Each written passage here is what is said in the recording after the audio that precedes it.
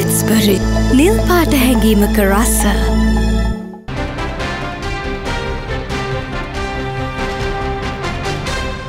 ඉදිරි පළත්පාලන ආයතන චන්දවීම සීම ඉලක්ක කරගනිමින් නිරුත්තර රටක උත්තරය යන මෙයින් සමගි ජනබලවේගේ සංවිධාන කළ ජනරැලියක් ඊයේ පානුදුරදී පැවැත්වුණේ විපක්ෂනායක සජිත් ප්‍රේමදාස මහතාගේ ප්‍රධානත්වයෙන්.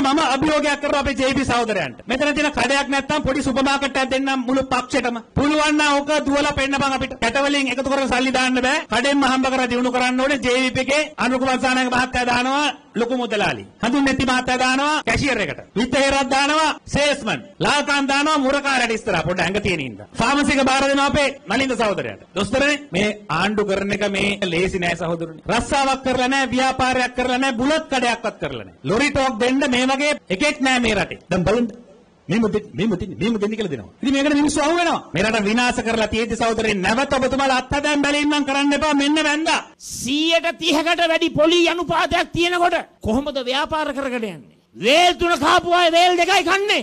එක වේලක්වත් කන්නේ නැති අහිංසක ලක්ෂ සංඛ්‍යාත ජනතාව අද මේ රටේ අනාථ වෙලා සිටින. මේකට හේතුව දෙදස් දහනමේ ගත්තු වැරදි තීන්දු. මහලකොට වීරෙක් සූරෙක් පත් කරගන රට විනාශ කරා. හැබැයි මේ මොහොතේ මම හැටනම ලක්ෂෙන් ඉල්ලීමක් කරනවා. කරුණා කරලා බංකොලොත් වෙච්ච අපේ රට ගොඩ නගන්න පුළුවන් හොඳම ආර්ථික කණ්ඩායම ඉන්න සමගි ජන බලවේගයට ඔබලාගේ උපරිම හයිය ලබා දෙන්න.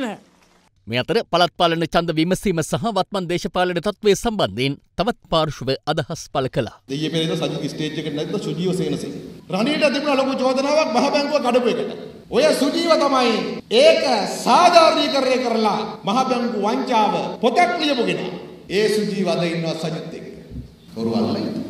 සමහරු කියනවා JVP එකට රැල්ලති. වැරදිලවත් මේ වගේ හාදුව ටිකකට දුන්නොත් හොඳට මතක තියාගන්න මාස 6යි දුවන්නේ. වාරි මාර්ග ඇමතිකම අරගෙන JVP ඇමතිවරු වැව් දහසක් හැදුවා කිව්ව එකේ එකක් හොයාගන්න බෑ හදපු. ඒ වගේ වෙනවා බෙහෙතකටවත් ඡන්දෙ දීපු එකෙක් හොයාගන්න බැරි වෙයි 6 මාසයක් යනකොට. මේ දරුවන්ට පොත් ටික ගන්න විදියක් නැතුව ඉන්නේ. ගොවියට පෝර ටික ගන්න විදියක් නැතුව ඉන්නේ. ස්පිරිතාලේ බේත් ටික නැහැ. හැබැයි පාලකයන්ට නිදහස් වෙනුවෙන් කෝටි සංඛ්‍යාත මුදලක් විදක් කරන්නට. අකුණු ගහනවටත් සන්නායක හයි කරන්න මිලියන් සංඛ්‍යාත මුදලක් කියලා. ඒක සාධාරණ. දැන් මෙතන කවුරුත් අකුණු ගැහුවට බය වෙන්න එපා. රනිල් මහත්තයා නැහැ බැසිල් මහත්තයා නැහැ මෙතන. නිදහස් සුසුවේ තිබෙන්නේ නැත්නම් කියන්නේ නිදහස් සුසුවක් තියාගන්න බැරි ආණ්ඩුවක් නායකයෙක් ඉන්නේ කියලා. ඔගේ අනිත් පැත්තට ගහනවා. තිබුණ ආර්ථිකයේ යම්කිසි මට්ටමකින් අද උඩට එමින් පවතිනවා. අද ඩීසල් පොලින් නැහැ, ගෑස් පොලින් නැහැ. ආර්ථිකයේ ඉතාම ඍණ පැත්තට ගිය එක දැන් උඩට ගනිමින් පවතිනවා. විශේෂයෙන්ම ආණ්ඩුව යම් ක්‍රියාවලියක නිරත වෙමින් ඉන්න අපිට තේරෙන විදිහට අටවෙනිදා රාජාසන කතාවේදී මේ ඡන්දය කල් දැමීම සඳහා වන යෝජනාවක් ගෙන එන්න තමයි ඔවුන්ගේ බලාපොරොත්තු තියෙන කියන එක අපිට දැනට ලැබිලා තියෙන තොරතුරු අනුව වාර්තා වෙලා තිබෙනවා. මුදල් අමාත්‍යාංශ මේ දවස්වල බයයි ඡන්දයට නෙමෙයි වියදම් වලට බයයි. මුදල් අමාත්‍යාංශයේ යුතුයකම සැබෑ තත්වය මේ අධිකරණයට කියන එක. හැබැයි ඉන් එහාට ගිහිල්ලා මේ අටවෙනිදා යෝජනාවක් වියදම් කරන්න බෑ කියලා පාර්ලිමේන්තුවට ඉදිරිපත් කරේ. එහෙම කිසිදු සූදානමක් මුදල් අමාත්‍යාංශයට නැහැ. දැන් ඔය 13 දහම් කතා කරනවා. අපි උන අභියෝග කරනවා රයින් එක්කමසිංහයි. දිනේෂ් ගුණවර්ධනයි.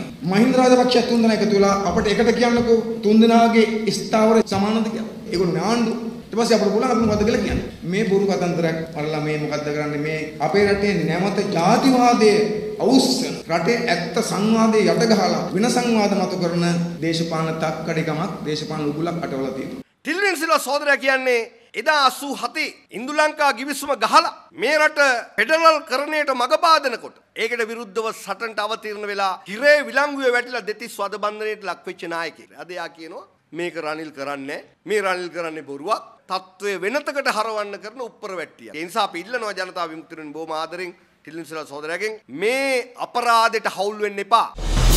අද දෙරන YouTube නාලිකාව YouTube අද දෙරන දැන්ම සබස්ක්‍රයිබ් කරන්න.